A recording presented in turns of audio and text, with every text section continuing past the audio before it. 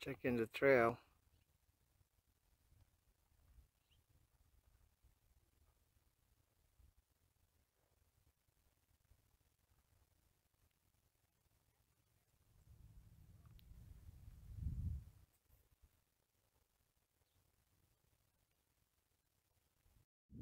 I know. I hope you'll be alright, man. Just look at that fucking drop.